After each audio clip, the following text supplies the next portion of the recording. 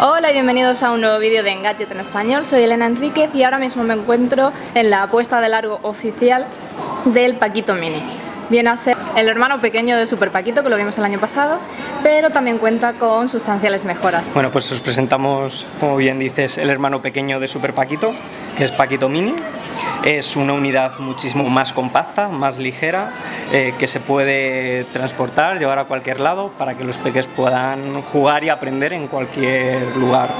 Hemos introducido, aparte, las características técnicas eh, que cambian. Tiene una pantalla de 8 pulgadas, una memoria de 8 gigas, una memoria RAM de 1 giga y un eh, procesador quad-core de 4 núcleos que otorgan al dispositivo de una mayor velocidad.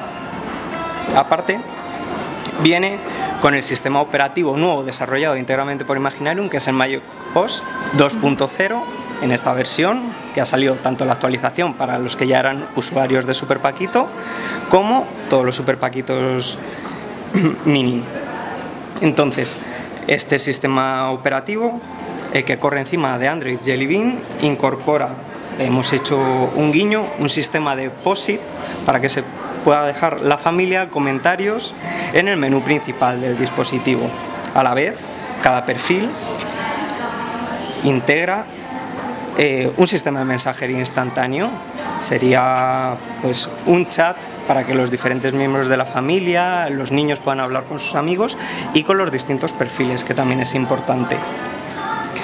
Y la gran mejora que tiene el Magicos es la reedición del control parental.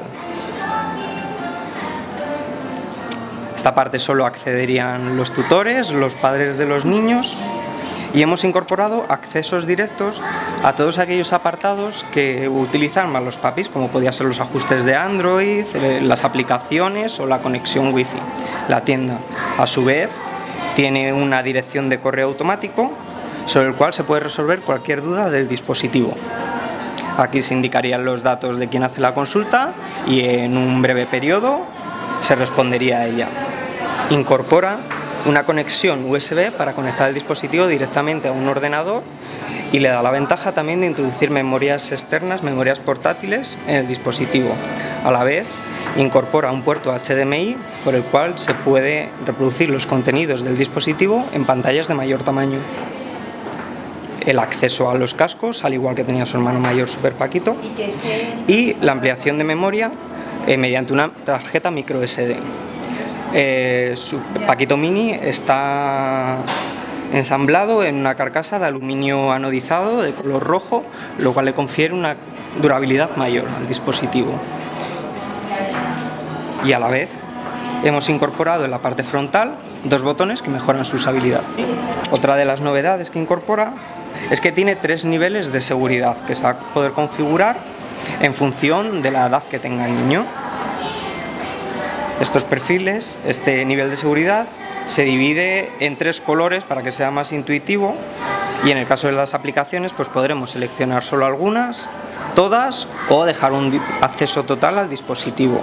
Esto también se incorpora en las webs que se pueden añadir al dispositivo, en los vídeos en el horario de uso y otra importante novedad que tiene es que se puede restringir el tiempo de uso del dispositivo.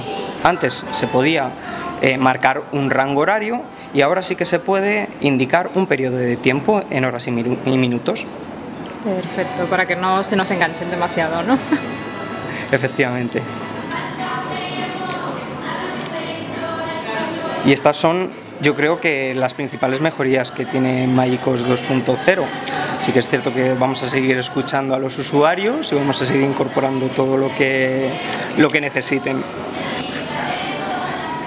Paquito Mini sale a la venta por 179 euros, que es un precio bastante atractivo para un dispositivo de estas características técnicas.